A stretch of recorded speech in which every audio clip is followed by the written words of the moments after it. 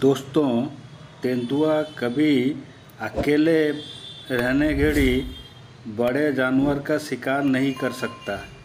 वो हमेशा छोटे जानवर के ऊपर में नज़र रहता है और छोटे जानवर को ही वो शिकार कर पाता है। और जब भी तेंदुआ ग्रुप में रहते हैं, तब बड़े जानवर के ऊपर नज़र रखते हैं और बड़े जानवर को मिल के शिकार करते हैं और शिकार सक्सेस होता है